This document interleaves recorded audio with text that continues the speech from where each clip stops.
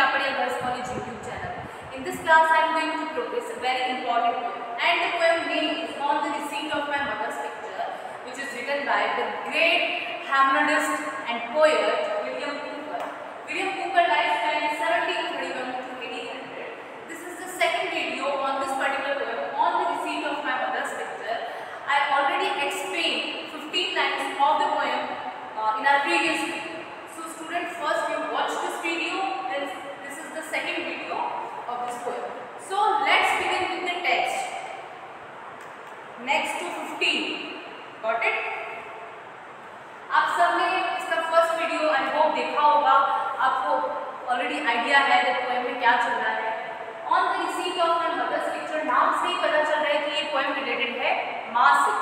ठीक है। हमारे जो पोएट है विलियम कूपर तो जब ये सिक्स इयर्स के थे, तब इनकी माँ की डेथ हो गई थी और जब ये अबाउट फिफ्टी एट ईयर्स के हुए तो इनको इनकी माँ की एक पोर्ट्रेट मिली, जो कि इनकी कज़न ने इनको दी थी। पोर्ट्रेट मीन्स फ़ोटो इनकी, माँ की फ़ोटो इन्होंने। फिफ्टी एट ईयर्स के आसपास इनको एज के आसपास मिली थी और वो इनकी कज़न ने इनको दी थी कि भाई ये तुम्हारी माँ की फ़ोटो है।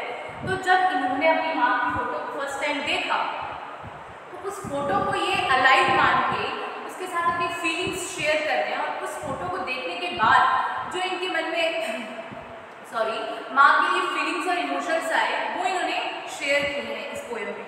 सो so, आप आप ऑलरेडी इस पोएम का कंप्लीट टेक्स्ट देख सकते हैं। मेरा एक और वीडियो बना हुआ है on the receipt of my mother's picture के।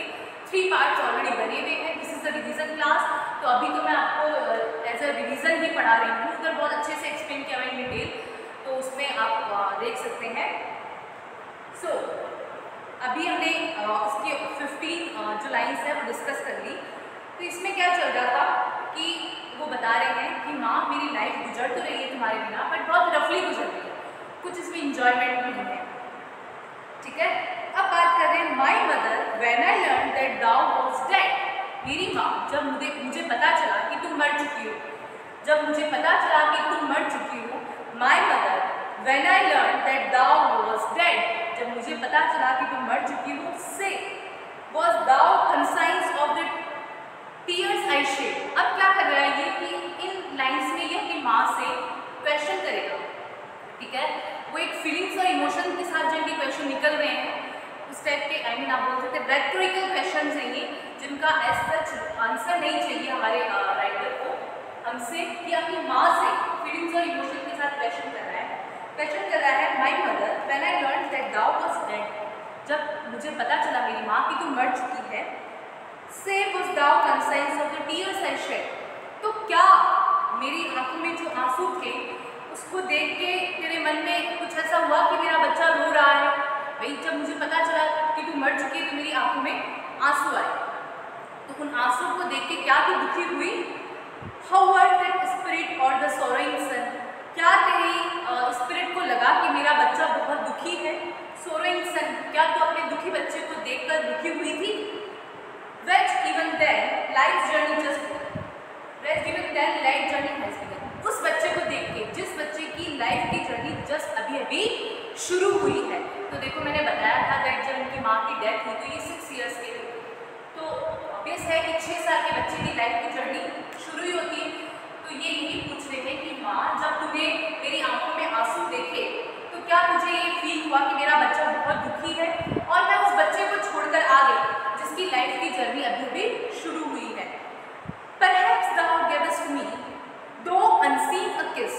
फिर इसका आंसर वो खुद ही कर रहे हैं Perhaps thou gavest me, thou unseen a kiss.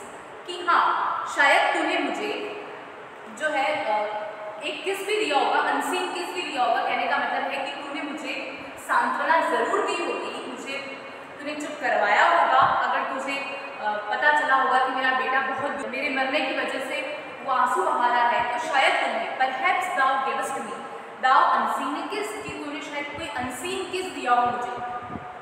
और मे बी कि अभी भी कोई अनसीन किस मुझे दे रही है, जो शायद मुझे फील नहीं हो रहा है, मुझे विजिबल नहीं है। मतलब तो फिजिकली वो किस नहीं दे पा रही because you are spirit now you are soul now था आपकी माँ को कराई इंडायरेक्टली कि तू अब सोल है, तू अब आत्मा है, एक प्योर आत्मा है तू तो तू मुझे हो सकता है अभी भी सांत्वना दे रही हो, जब मुझे पता चला हो कि मेरा बेटा बहुत दुखी तो उस टाइम भी तूने शायद मुझे कोई अनसिन किस दिया हो, सांत्वना दी हो। Perhaps a tear it souls can weep in this और हो सकता है कि तूने मुझे देख के आँसू भी बहाया हो, अगर आत्माएँ रोती। अगर आत्माएँ रोती है तो हो सकता है कि तूने मेरे को देख के आँसू भी बहाया हो। Perhaps a tear, souls can in bliss. Oh, that maternal smile, it answers yes. और कह रहा oh that maternal smiles और अब देखो तुम्हारी जो स्माइल है ये इट आंसर्स यस मतलब ये एक्सेप्ट करे कि हाँ बेटा मैंने तुझे सांत्वना दी है मैं मैंने तुझे अनसिन किस दिया है मैंने तुझे मरने के बाद भी जो है सपोर्ट किया है तुझे प्यार किया है मतलब अब तेरी पोर्ट्रेट को देखकर लग रहा है जिसने पोर्ट्रेट करी है हाँ हाँ मैंने तुझे सांत्वना दी है मैंने तेरे को माँ बोल रही कि हाँ बेटा मैंने तुझे सांत्वना दी है I heard the bell tolled on the burial day अब वो उस दिन का टाइम बता रहा है जब इनकी माँ की डेथ हुई थी कह रहा है देखो ऐसा है क्रिश्चियनिटी में कि जब किसी की डेथ होती है तो उसे किसी बोल सकते हो आपकी किसी आ, जो होता है एक बॉक्स उसमें ले जाते हैं। आपने देखा भी होगा मूवीज़ में और जो है चर्च में बेल भी बजती है। तो यही कह रहा है I heard the bell tolled on the burial day जब तू मरी थी उस दिन जो बेल बजी थी वो मैंने सुनी थी ठीक है वो कुछ डिफरेंट बेल होती है जो बजती है I heard the bell told on that little day. I saw the uh, hearses that bore the snow. Hearses मतलब जो जिसमें तेरे को ले जाया जा रहा है ठीक है जिस बॉक्स में जिस uh, में तेरे को बॉक्स में ले जाया जा रहा था वो मैंने देखा था आई सो द बॉक्स बोल सकते हो आप I saw the box that bore thee snow away मैंने वो बॉक्स देखा था जिसमें मुझे धीरे धीरे ले जाया जा रहा था। And turning from my nursery window और ये सब मैं कहाँ से देखा था? नर्सरी विंडो से देखा था। नर्सरी विंडो का मतलब होता है कि ये छोटे बच्चे थे और बच्चों के जो रूम में खिड़की होती है, आप उसको नर्सरी विंडो बोल सकते हैं कि बच्चे झाँक झाँक के अपनी खिड़की से जो देखते हैं। तो ये यही कह रहे हैं कि जब तुम्हें ले जाया जा रहा था आ, किसी आ, उसमें बॉक्स में तब मैंने देखा था। And turning from my nursery window और मैंने अपनी नर्सरी विंडो से वो सारी सीनरी देखी थी, तुम्हारे पीरियड देखी तुम्हारे फ्यूनरल की, तुम्हारे फ्यूनरल की जो बेल बजी थी, वो भी मैंने सुनी थी। And long long sigh and wept and last और मैंने ये सब देख के लॉन्ग लॉन्ग साई मैंने बहुत ज़ोर ज़ोर से लंबी लंबी साँसें भरी। देखो, बच्चा है तो क्या हुआ? पता माँ उससे दूर जा रही है। तो रोना तो ऑटोमेटिक आएगा। तो वो कह रहे हैं कि मैंने ये सब देख के मैंने आहें भरी ये सब देख के last adieu last adieu means ये जो लास्ट हमारी विदाई मतलब हमारा बिछड़ना था इसको देख के मैंने ज़ोर ज़ोर से आने बढ़ी सो so, यहाँ हमारी आज थर्टी लाइन्स कंप्लीट हो गई। फिफ्टीन लाइन्स मैंने इसके प्रीवियस वीडियो वीडियो में आपको एक्सप्लेन की थी। आज मैंने इसकी रिमेनिंग फिफ्टी लाइन्स और जो है एक्सप्लेन की है। आई होप आपको ये समझ में आ रही होगी पोएम बहुत ही, बोल सकते हैं कि पैथेटिक है, बहुत ही अच्छी पोएम है ये।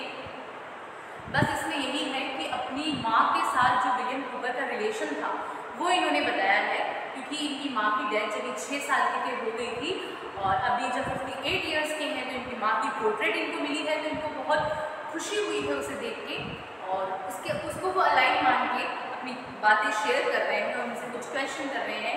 बता रहे हैं कि जब मैं छोटा था, जो मुझे फीलिंग्स आई थी, क्या तुझे फीलिंग्स पता है क्या तुम उनको देख के रोई थी। सो so, ये आपको फिफ्टीन लाइन्स जो है मैंने और एक्सप्लेन कर दी। अब हम देखते हैं इसका थर्ड जो है पार्ट बनेगा उसमें इसकी और 15 लाइंस पोएम बड़ी है ये। बट हम इसको पार्ट्स में जो है देखेंगे। और इस पर ऑलरेडी थ्री पार्ट्स बने हुए हैं पोएम पे। इन डिटेल तो आप वो भी देख सकते हो। Thank you